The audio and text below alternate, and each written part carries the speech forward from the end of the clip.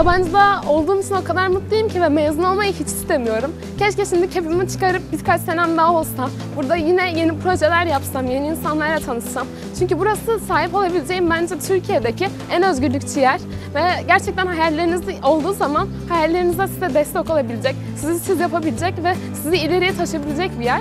Buradan çıkınca yeni bir hayata başlayacağım. O yüzden ee, birazcık korkuyorum aslında ama biraz da biliyorum ki Sabancı beni ben yaptı ve emin adımlarla geleceğe doğru yürüyeceğim. Bu yüzden çok mutluyum ama tabii ki de hüzünlüyüm. Keşke burada arkadaşlarımla bir dört yılım daha olsaydı.